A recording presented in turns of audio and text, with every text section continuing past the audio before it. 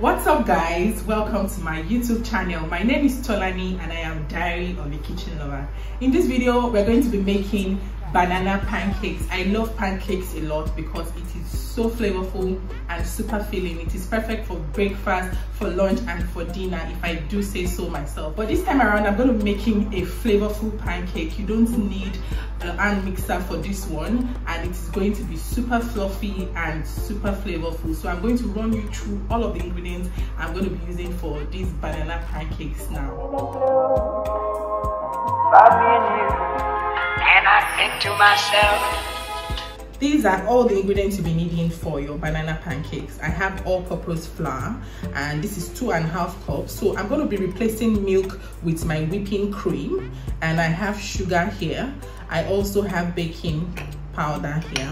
I have two eggs. I have salted butter and i have raw banana. If you also have banana flavor you can also add it to it. So let's get started right now. To get started we're going to be mixing all the dry ingredients in a separate bowl and mixing the wet ingredients in another bowl. So i just poured in the flour and this is the sugar. I'm going to put all the measurements in the description box and this is the baking powder. I'm also going to add a pinch of salt but adding salt to your pancake is highly optional. That is why i didn't list it when i was introducing the ingredients. So you're just going to use a whisk or whatever you have to mix this together and just make sure that all the ingredients are properly combined. And once you're done with this just set it aside and allow us to mix the wet ingredients. So for your wet ingredients you're going to start by cutting your bananas. You're going to mash your bananas with a fork. If you also have a mash a proper masher at home you can use your own masher. But i'm going to be using a fork for the sake of many of us who don't have mashers in the house. So this is an almost ripe almost overripe banana and it is always good for things like this because you get the maximum flavor from your banana. So you're just going to use your fork to mash the banana until you get it very runny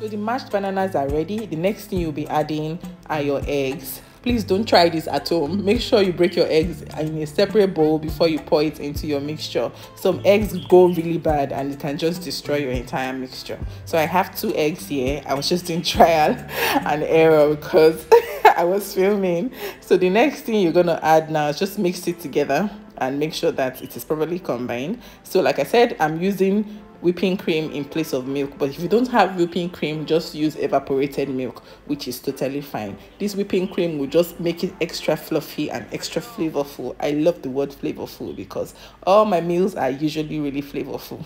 So you're just going to get the whisk now and mix it together. So this is your melted butter. I just added the melted butter now. So now you're going to add your dry ingredients into your wet ingredients. It is never the way other way around. It should be your dry into the wet not the wet into dry because sometimes your dry ingredients are usually more than your wet ingredients. And what will happen if you pour in the wet ingredients into the dry ingredients and you don't have um, the consistency that you want? So you are able to control your consistency when you add your dry ingredients into your wet ingredients. So that was what i did. So if you notice that your batter is too thick good thing is that you can always add your water to your pancakes so just add a little water. But one of the secrets to getting a really fluffy pancake also is to make sure that your batter is not too watery. Make sure that it is too thick. So at this point i discovered that my batter was too watery. I decided to add some more flour. So you see the essence of adding your dry ingredient into your wet ingredient because it gets it gets in total control. You're in total control of the consistency of your batter so this is what your batter should look like. It should have a fine consistency but please don't mix it too much because we want to retain that fluffiness. If you mix it too much it can thaw and just you know destroy the ability to get it fluffy. So i have one tip for you guys. Let me share with you.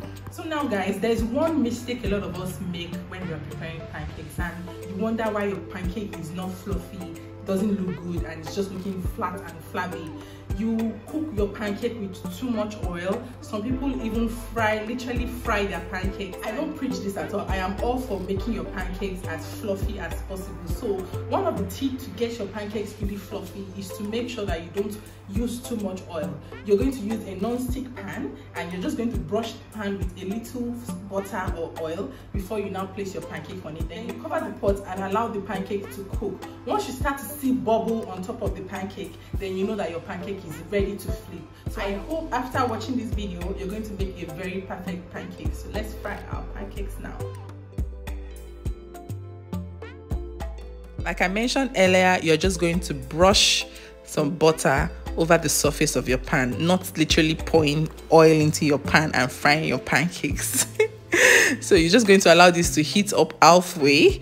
And another tip to getting a perfect shaped and uniformed shaped pancake is to use a uniformed measuring cup for every of the batter. So you're going to use the same measuring cup. So the measuring cup you use to pour your first batter should be the measuring cup you use to pour the last batter. With this you get a uniformed looking pancake. So you're just going to pour this into your pan and cover it up on extremely low heat until you start to see bubble on top of your pancake. So this is what i have now and i know that it is time for me to flip over. So with this you don't have to start um, looking for ways to get runny pancakes and all of that and you get a really perfect pancake and fluffy pancake also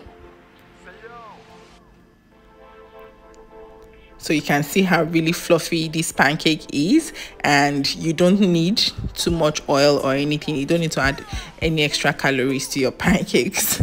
And this is what it looks like super fluffy. And trust me when i say it is fluffy it is fluffy. My pancakes are really always fluffy and i want you guys to also get a perfect pancake. So this is what everything looks like and i'm just going to do the same thing for all of the pancakes. And if you want to get like a lighter color like this don't leave it on the hot surface for too long and this is what you get. You get a really nice pancakes and your family your friends your loved ones your lovers would totally love this and will ask you for more. So you can see me cutting it into two and you can see how fluffy this looks. This looks like an actual cake but it's actually a pancake. So i hope you guys are going to try this. I hope you guys are trying every recipes that i'm posting on my youtube channel. And if you like the fact that i'm now showing my face on my youtube channel please let me know in the comments comment section so I can continue with this. But if you don't like it, let me know also so I can just stick to just voiceovers. Thank Thank you for watching always. If you haven't already subscribed, this is a more reason why you should subscribe to my YouTube channel. I make your recipes, your regular recipes, really yummy, really easy to prepare and straightforward. And like I said earlier, please don't hesitate to share this with your family, your loved ones, and your friends, and you know, spread the word of Diary of a Kitchen Lover on YouTube. Thank you. Bye.